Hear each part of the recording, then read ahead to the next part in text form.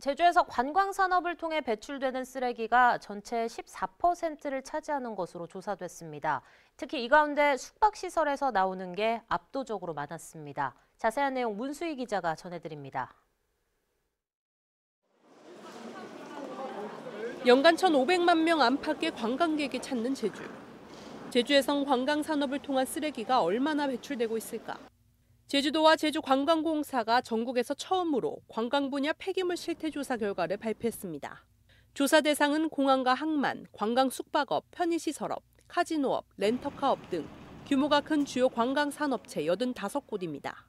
조사 결과 이곳에서 발생하는 생활 폐기물은 연간 6만 7,670여 톤, 도내 전체 폐기물 발생량의 14%입니다. 업종 중에서도 폐기물이 가장 많이 발생하는 곳은 숙박업이었습니다.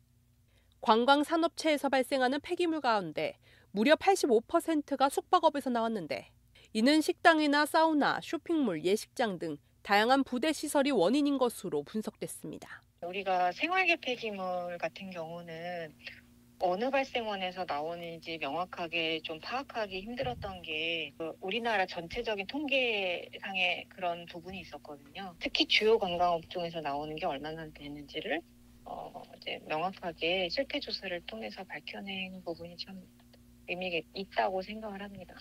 관광산업 폐기물 발생 실태를 처음으로 조사했던 점에선 의미가 있지만 조사 대상의 일반 식당과 카페 등 소규모 관광시설이 빠졌다는 점, 이번에 조사된 관광산업체에서 발생하는 쓰레기 배출량과 관광객의 상관관계는 명확히 도출하지 못했다는 점은 한계로 지적되고 있습니다.